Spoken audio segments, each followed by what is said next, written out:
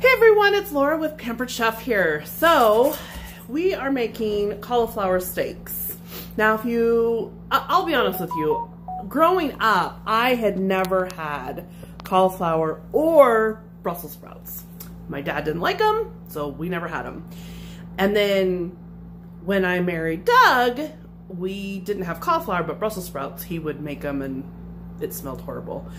So later on, I started to experiment. Well, now I make that stuff all the time. So I'm gonna show you a different way how to cook them. And honestly, just like anything, texture makes a huge difference in how, in what, what we like. So a lot of times, in all my 18 years of doing Pampered Chef, veggies, a lot of times people don't like certain veggies because they had them as a kid and you know, lovable mom cooked them to the point of death again, and so they were mush. And texture plays a huge part in that, so I'm gonna show you something. Okay, so here's what I'm doing here. Now this right here is a sheet pan that I have already done. Well, it's partway done, okay? So if you'll see the nice, it's got some nice brown bits on it. So here's what I've done, okay? Now this sheet pan is, I've got avocado oil on the bottom, and these are leeks, okay? So, um, I am using this to caramelize them, okay? Now I'm gonna set those here. And I'm going to take a cauliflower head and simply cut them into um, steak, okay? So, just like this. Now they won't, some of them won't cut perfectly, and that's fine. Um, some of them, they'll fall apart, and so it's no big deal, okay? So I'm gonna set them right on top of the sheet pan, on top of the leeks, okay? Um, leeks are fantastic. They are similar to an onion, and they have great flavor. Uh, they're actually related to the onions, but it's much milder, and they have less sugar. So if that's something that's important to you, you might consider that. So, and I had not cooked with leeks. Leeks do have to be soaked, and I'll be talking about leeks another time um, and how to prep those. So, because um, they they they have a lot of sand in them, so you have to cook them or uh, clean them really well. Okay, so see how this one falls kind of really nice.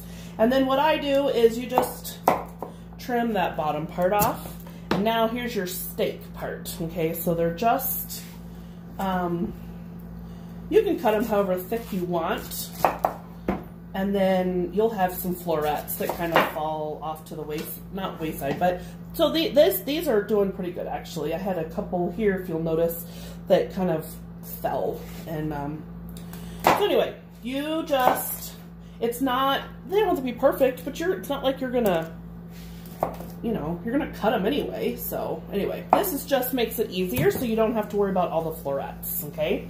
So I'm not cutting them into really small pieces. So here is our last one, okay? Now what I've done is I had some bell peppers. If you'll notice here, it's got wrinkly bits. Um, it was starting, it's starting to look really, uh, really old and wrinkly, sorry. No, don't be upset. Okay, so here's what I'm gonna do is I'm just gonna cut these and I'm gonna roast these along with the rest of the cauliflower so that they don't go bad, okay? And um, so basically that's what I'm, just like this, you just have one piece now, and I'm gonna take a little bit off the inside, okay?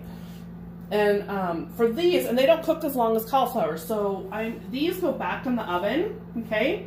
Because, see, now that I've put the seasonings on, so now I'm gonna show you what I do here, okay?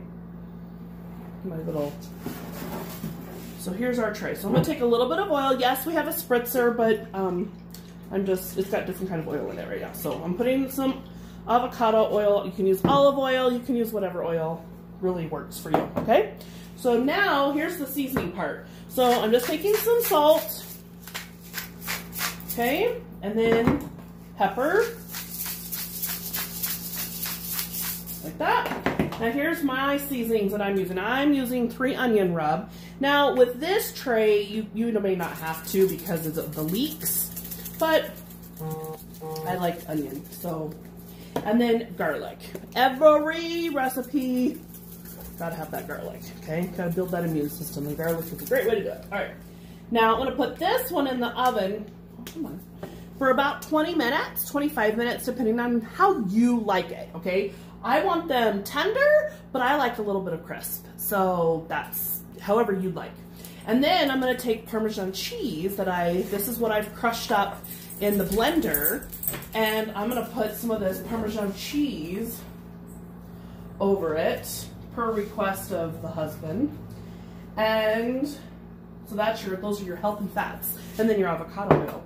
And then I've got salmon I'm gonna cook in the skillet. So this is a great way to get lots of veggies. Cauliflower is really good for you and it's really dense. So I wanted to show you something now that I thought of it. Um, cauliflower is a really dense vegetable. Do you remember in biology? This is the only thing I remember from biology, okay, you guys? So when you have mold on cheese, you can cut it off because mold doesn't penetrate through the whole brick. If you have mold on bread, you can't cut it off, you gotta throw it away. The same thing can apply to cauliflower. So you're, if you have some, so sometimes cauliflower can get some brown on the florets, on the outside of florets. I was actually, so you might see florets that have some browning just like that. Well, if that bothers you, you can cut that off and it doesn't go through to the rest of it. Now, you can still see, now if it's really bad, then obviously you're gonna throw it away, but if it's just a little bit, you don't have to. You don't have to throw it the whole thing away. Just cut that off.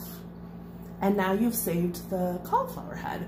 So it's the same idea of when we were in biology. It's the only thing I remembered from my biology class 20 plus years ago. So anyway, um, I will see you this next week, guys. You have a great night.